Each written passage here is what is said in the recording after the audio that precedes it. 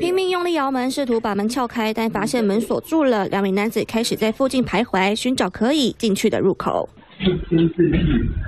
就算看到监视器，两名男子还是不疾不徐。这里是玩具收藏家疯狂大叔位在基隆七堵的玩具仓库，日前才遭五名窃贼分工偷走六十箱库伯利克熊以及公仔，损失将近五百万元。没想到在十七号下午四点多，又有两名窃贼企图闯入行窃，让疯狂大叔崩溃大喊：“真的快疯了！”我的手机的警报器就响了，响了我就进来看，就发现有两个人正在撬我的铁门，啊，所以我就马上就报警。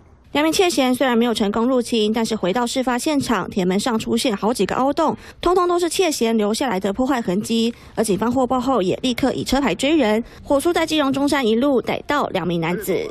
十八时许拦获该车，车上有许信、林信两名涉嫌人，全案侦讯后，将许信、林信两人依触犯窃盗未遂罪。已请基隆地检署侦办。而根据警方调查，这两名男子跟先前五名嫌犯同样都是毒品人口，和其中一名诚信男子又是毒友，三个人先前就一同到仓库来探点过。而十七号落网的五名嫌犯，原本是要到深山里开毒趴，但起歪念偷玩具，分工超缜密。有人负责租仓库，有人提供车辆租车开车破坏门锁，都是不同人。今天为什么换掉了？对，有有些已经换了。